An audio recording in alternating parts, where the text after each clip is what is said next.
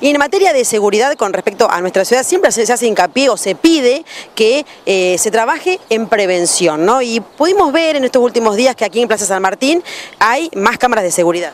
Sí, sumamos domos, sumamos cámaras, el centro de monitoreo está equipado. La verdad que esto no es la panacea, no es ningún paraíso ni mucho menos, pero vemos que tenemos un nivel de delito, o por lo menos de delito violento, considerablemente más bajo que la región. Y eso no nos tiene que dar tranquilidad, sino porque eso es un trabajo de todos los días. Es un trabajo donde el municipio hace una parte, pero otra parte la policía, otra parte la ayudantía fiscal, otra parte las chicas de género. Hay un trabajo coordinado muy grande. Em, yo si me preguntás, más allá de lo que hacemos nosotros, tengo una visión muy particular respecto de la justicia y nos ha pasado que hemos llegado, cuando entramos a la gestión teníamos con un trabajo de investigación que veníamos haciendo allá por el 2015, 27 personas identificadas, uno no deja de, acordarse que acá en esta plaza 400, 500 personas todos los miércoles daban una vuelta porque habían matado a sangre fría al joven Rubén Ramírez y nosotros entramos con esa premisa y había habido cuatro muertes en un año y medio. Eso no está pasando y eso porque hay un trabajo. Y bueno, se trabaja en prevención, se trabaja ocupándonos de los temas, pero sí me parece que la justicia tiene que ser un poco más, em, tiene que tener un poco más empatía. Palabra de moda en esta época, pero lo digo real porque hay gente que ha salido de estar presa tres o cuatro veces ya en nuestra gestión en siete años, con robos, con hurtos, hasta con violaciones y los vemos que salen. Entonces no conocemos esos jueces, no conocemos esos fiscales, la gente no los conoce, pero ¿con qué herramientas trabajamos los municipios? ¿Se, sienten un poco atados en esa área?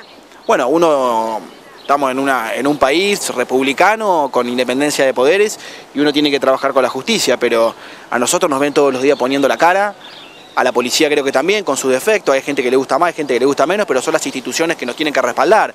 La verdad que la justicia, y no lo digo por la ayudantía fiscal ni por el juzgado de paz, que nos damos un trabajo con ellos, digo por la justicia, digo por Mercedes, eh, me parece que debería, debería ponerse bien los pantalones y salir a, y salir a resolver los problemas que nos aquejan todos los días. Nosotros estamos para, para ayudar.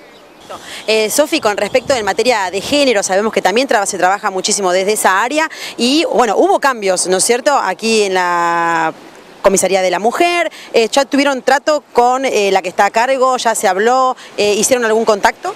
Sí, bueno, buen día.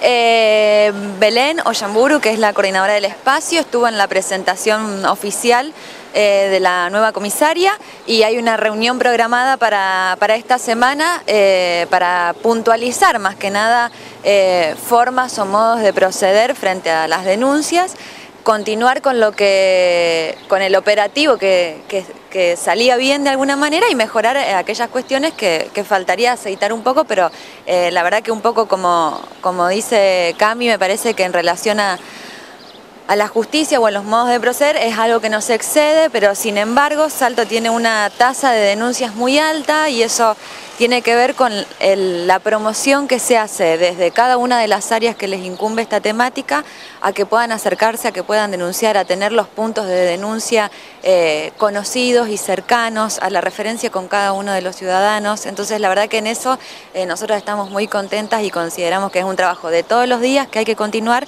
pero que está avanzado. Es también una forma de prevenir.